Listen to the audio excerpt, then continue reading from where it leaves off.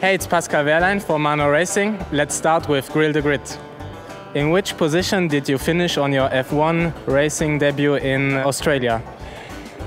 P16. Who won the 2015 GP3 championship? My uh, current teammate, His name? Esteban Ocon. Correct, yes. You were born in 1994. Who was F1 world champion that year? Michael Schumacher. Correct. In which year did Manor join F1 as Virgin Racing? Oh, this is difficult. 2010. Yeah? It's right. Spot on. Your mother is from Mauritius, but what are the four colors on the Mauritian flag? Um, yellow, green, red, and blue. You've already beaten Fernando Alonso and Nico Rosberg. Yeah? Hopefully, one day in a championship as well.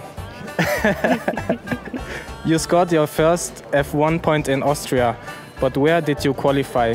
P12. There's only been one other F1 driver called Pascal. What was his last name? I don't know. No idea. It's Pascal Fabre. 1987. He's French. Yeah, I was not born there, sorry. So. Manor Racing director Dave Ryan spent 34 years with which team? With uh, McLaren. Hi, Dave. I know everything about you. which two F1 drivers are Esteban Ocon's heroes? Um, I guess Michael Schumacher. That's one. I need both to give you the mark. Which is the other one? I guess, I guess Prost or Senna, but I'm not sure. Um, I guess one of those, no?